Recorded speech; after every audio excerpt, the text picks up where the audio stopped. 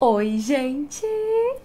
No vídeo de hoje eu trago para vocês 10 dicas práticas para combater o ressecamento do seu cabelo cacheado. Assim, seu cabelo cacheado, crespo, ondulado, liso, as dicas servem para qualquer tipo de cabelo, você pode adaptar, mas são dicas mais voltadas para o cabelo cacheado porque são dicas que eu faço na minha rotina, no meu dia a dia, que eu faço no meu cabelo e que fazem toda a diferença. E aqui eu quero dizer que são dicas assim, que não tomam muito tempo, que não dão muito trabalho, são dicas de fato práticas, às vezes coisas simples que fazem muita diferença. Se você tem a rotina corrida, se você não tem tanto tempo para ficar cuidando do seu cabelo, essas dicas vão fazer a diferença, sabe? São coisas que eu tenho feito e que eu vi muita diferença no meu cabelo, né? Nessa hidratação, no cuidado. Então, se vocês gostam de vídeos assim, com dicas práticas, cliquem muito aqui no gostei e me contem nos comentários quais os próximos vídeos vocês querem ver nesse formato, tá bom? Então, bora lá!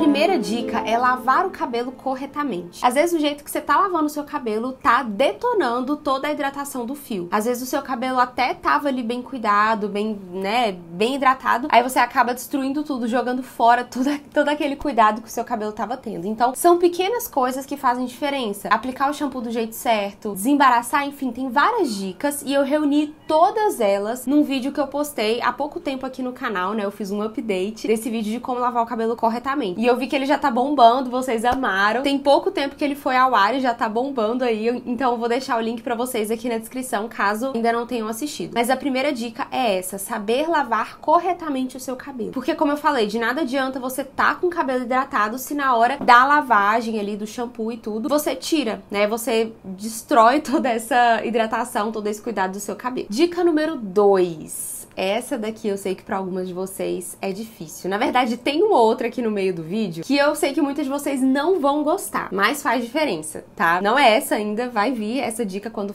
quando chegar a hora dela eu vou falar. Mas enfim, essa segunda eu sei que também algumas de vocês vão achar um pouco difícil, que é não usar secador, chapinha, modelador térmico, qualquer coisa quente no seu cabelo. Eu sei que é difícil, eu sei que tem gente que é super apegada ao, seu, ao secador, inclusive eu era essa pessoa. Quem me acompanha aí há mais tempo sabe, teve uma fase que eu sempre usava secador, sempre, para desencolher, para dar volume, eu amava. Eu sabia que ressecava mais o cabelo, que danificava, mas ainda assim eu arcava arcava, preferia arcar com as consequências. Eu falava, ok, eu quero o secador, né? Então eu sabia que ainda assim isso danificava um pouco o cabelo. E hoje, que eu não uso mais, eu vejo uma enorme diferença. Hoje que o meu cabelo ele tá num day after, eu nem fiz muita coisa, então assim, ele não está no melhor dia, mas ainda assim, ele fica com um aspecto mais saudável, sabe? Mesmo meu cabelo não estando nos melhores dias, ele fica com um aspecto mais saudável hoje em dia, né? Já que eu não uso tanto secador, enfim. E tem essa outra dica que eu vou dar, vocês vão ver que também faz muita diferença. Então você tem que colocar na balança né? Você tem que pensar, o que que eu prefiro? Um cabelo super bem cuidado, super hidratado, ou eu prefiro um cabelo com mais volume, mais desencolhido? Você vai colocar na balança mesmo. Mas saiba, né? Se você faz esse uso muito frequente de secador, de chapinha, de é, modelador, enfim, coisas que são térmicas, né? Que são quentes, o seu cabelo com certeza vai ficar mais danificado, principalmente a longo prazo. E aí, uma dica bônus dentro dessa dica, né, é a seguinte: se você for usar, então use um protetor térmico. Tem alguns cremes de pentear que já vêm com essa proteção, tem alguns olhinhos, tem alguns sprays, enfim, existem vários formatos desse tipo de produto. Você vê aquele que de fato ajuda, né? Porque tem alguns que só vão formar uma capa, mas não vão estar tá protegendo e, e talvez até cuidando do seu cabelo. Mas veja aqueles que realmente são bons, que vão ajudar, que aí você pelo menos reduz um pouco desse dano. A terceira dica é é uma dica que eu gosto muito, que eu faço sempre, que é ter uma máscara potente no banho, ali na, no box do banheiro. Porque nem sempre a gente vai ter tempo de fazer um super tratamento, de fazer uma super hidratação, um tratamento de deixar ali agindo por um tempo no cabelo, né? Eu falo por mim, assim, hoje em dia eu raramente, assim, nem lembro qual foi a última vez que eu fiz um tratamento para deixar agir, sabe? Eu acho que foi no salão mesmo, quando eu vou cortar o cabelo e tal. Mas no meu dia a dia aqui, eu já, isso já não faz parte da minha rotina. Mas não quer dizer que eu não hidrate que eu não use máscaras, né, de tratamento no meu cabelo. Então eu sempre deixo ali no banho e aí por mais que seja rapidinho, né, aplicar ali por dois, três minutos, ou até mesmo quando eu vou lavar na pia ou no tanque, ainda assim eu aplico. Então ter essas máscaras de tratamento de fácil acesso e que sejam máscaras boas, potentes, vai facilitar muito e você vai estar tá sempre cuidando do seu cabelo, mesmo que seja rápido, né? É aquela frase que eu sempre gosto de falar com vocês, de, de citar, né, de repetir para vocês. Você você já parou para considerar a enorme soma que podem vir a dar muitos poucos? Então, às vezes a gente pensa que é pouco, né? Ah, não, vou passar uma máscara aqui muito rápido, né? Eu não vou conseguir ficar tanto tempo, mas ainda assim é melhor do que nada. Ainda assim, a longo prazo, se você sempre faz isso em todas as lavagens, se você sempre tem esse cuidado, por mais rapidinho que seja, a longo prazo o seu cabelo vai agradecer. E aí, dentro dessa dica, entra uma dica bônus que é tentar fazer um tratamento mais caprichado pelo menos uma vez no mês. Isso daqui é fundamental para quem faz algum procedimento químico, para quem pinta o cabelo, descolore, faz tintura, para quem usa muito secador, muita chapinha. Aí sim não tem como você deixar de lado esses tratamentos mais caprichados, porque senão realmente seu cabelo vai sofrer. Mas se o seu cabelo não tem tanta necessidade assim, tenta, né? Faz um esforço de pelo menos uma vez no mês, mas se não der, segue a dica de ter uma máscara ali potente, de fácil acesso, sempre no box do banheiro. Dica número 4, essa é perfeita para quem tem pouco tempo, para quem vive na correria. É fazer finalizações que tratam o fio. Essa dica eu fazia muito quando eu usava secador, porque eu sentia que isso ajudava a compensar os danos do secador também, sabe? Então, são finalizações mais estruturadas, mais caprichadas, com produtos mais potentes. Você pode usar um óleo, enfim. Eu vou deixar aqui para vocês linkado uma finalização que eu já fiz aqui pro canal, acho que tem uns dois anos, mas assim, ainda é um vídeo fresco, sabe? Ainda é um vídeo que eu assisto e falo, é, essas dicas realmente fazem sentido. Então, eu vou deixar esse vídeo linkado aí para vocês. Inclusive, ele bombou também, já tem mais de 2 milhões e meio de visualização, se não me engano. Enfim, já bateu mais de 2 milhões. Quando eu vi, eu fiquei assim, chocada. Mas é porque realmente as dicas são muito boas. É uma finalização que muda o seu cabelo, assim, que, que transforma, né? Dá aquele up, aquele brilho, aquele tratamento durante a finalização. Então, se você não tem tanto tempo assim e seu cabelo realmente tá muito judiado, você vai investindo nessas finalizações que vão estar, tá, né? Que de qualquer forma você já ia ter que finalizar o seu cabelo. Então você já aproveita para fazer uma finalização que vai estar tá tratando mesmo o fio. Dica número 5: faça cronograma capilar. Aqui eu não quero dizer que você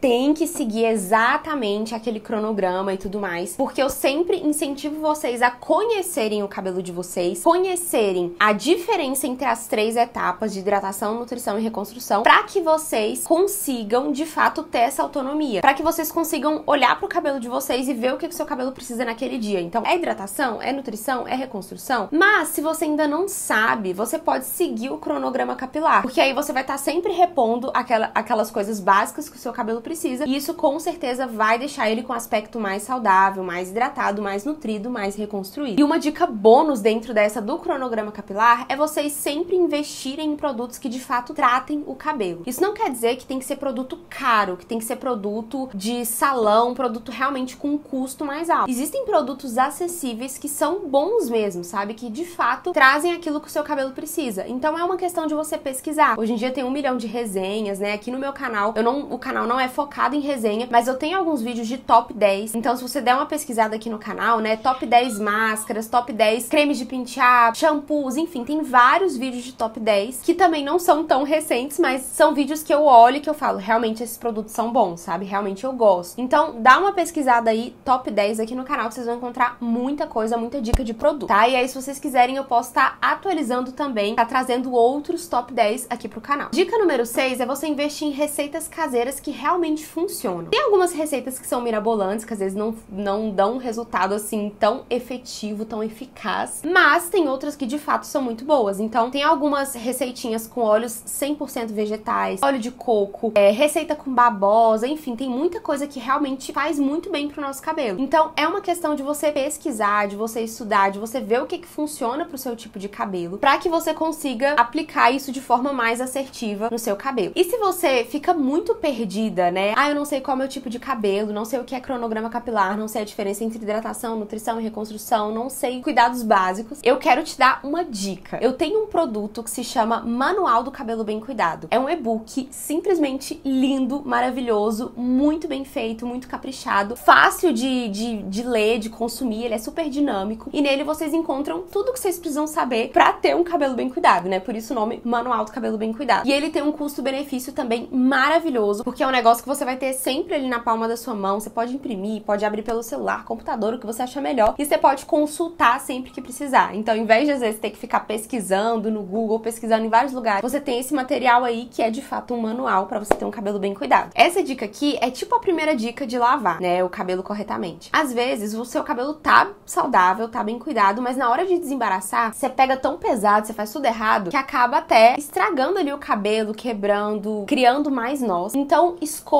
escovas que funcionem pro seu tipo de cabelo. As minhas favoritas pro meu tipo de cabelo é aquela escova polvo. Eu gosto daquela da marca Encaracolados, mas tem outras marcas no mercado. Eu gosto dessa porque funcionou para mim, né? O custo-benefício é muito bom. Mas tem várias opções também de escova. Outras que eu gosto bastante são aquelas escova mafê, jacaré, que são bem acessíveis também. Então, assim, dá uma pesquisada. Tem infinitos tipos de escova hoje para cabelo cacheado. Tem aquelas que são tipo redondinhas, assim, né? Que você pega assim com a mão. Enfim, essas eu não me adaptei tão bem, mas eu sei que tem gente que ama, que só usa esse tipo de escova. Então, vai testando. Porque às vezes o jeito que você desembaraça, que você passa ali a escova no seu cabelo, pode ajudar ou piorar toda a situação. Tenham bastante cuidado na hora de desembaraçar. Uma dica prática é a seguinte: não começa desembaraçando da raiz, porque senão vai chegar aqui no final, na ponta do cabelo, vai estar tá um bolo, né? O cabelo vai estar tá todo embaraçado. Então começa das pontas e vai subindo. Assim é o jeito ideal, né? Não vai acumular aquele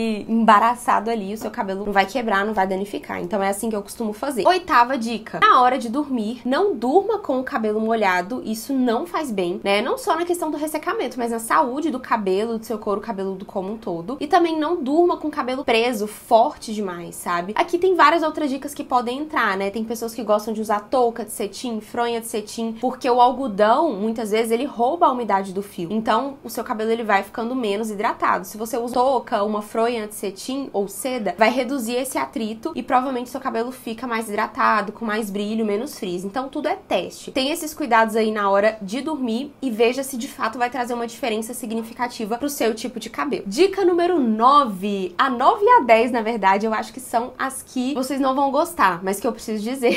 são coisas que de fato fazem diferença. Às vezes a gente não gosta de ouvir, mas faz diferença. A 9 é seguinte: corte o seu cabelo de tempos em tempos. Gente, eu sei, né? Muitas são apegadas, estão no projeto Rapunzel, querem cabelão e tudo mais. Eu entendo. Mas, às vezes, o cabelo tá com tanta ponta seca, tá com tanta, sabe? Tipo, tem anos que você não, não faz um corte no cabelo, que o seu cabelo não vê uma tesoura, que você não corta as pontinhas. Não tem como você querer que aquele cabelo esteja 100% maravilhoso, mega hidratado, né? Porque aquele cabelo já tá ali tem muito tempo, ele tá precisando, às vezes, ir embora mesmo. Claro, todas essas dicas funcionam. Segue todas essas dicas até aqui. Mas se você vê que realmente, assim, tá, tá terrível a situação, não tenha medo de cortar. Às vezes, cortar pouquinho, sabe? Cortar as pontinhas num salão de confiança. Aqui em Unai, né? Pra quem é daqui de Unai região, eu sempre recomendo o salão Dondoca, que é o salão que eu vou, que eu corto meu cabelo. Totalmente especializado em cabelos cacheados, crespos, ondulados. Eu amo. Então, assim, vá num salão de confiança e mantenha o seu cabelo com corte em dia, né? Mesmo que você esteja deixando ele crescer, de tempos em tempos, sei lá, pelo no mínimo uma vez no ano, corta as pontinhas pro seu cabelo de fato se manter saudável. Senão, gente, não tem cabelo que aguenta mesmo, né? As pontas vão ficar ali super detonadas, ressecadas, porque faz parte da vida, né? O, o clima, a poluição, tudo ao redor, né? Tudo que vai acontecendo na vida faz com que o cabelo fique mais danificado. Então, às vezes, aquele cabelo vai precisar ir embora mesmo. Então, agora com o cabelo curtinho, que eu fico sempre refazendo o corte, eu vejo o quanto o cabelo fica com aparência, com aspecto mais saudável mesmo, mais hidratado. Então, é algo que faz muita diferença. Eu sei que muitas não gostam, mas eu precisava dizer aqui, porque de fato a gente vê essa diferença. E a última dica, a dica número 10 é: cuide da sua alimentação, da sua saúde no geral. Então, alimentação, né? Ter uma alimentação saudável, com os nutrientes que você precisa, evitar ficar comendo besteira. Gente, isso impacta diretamente no nosso cabelo, na nossa pele, em tudo. Então, beber bastante água também, de nada você adianta querer ficar com o cabelo hidratado você não manda água para dentro de você, né? O seu cabelo ele não, não vai conseguir também ficar hidratado só por fora, né? A gente precisa dessa hidratação, inclusive eu até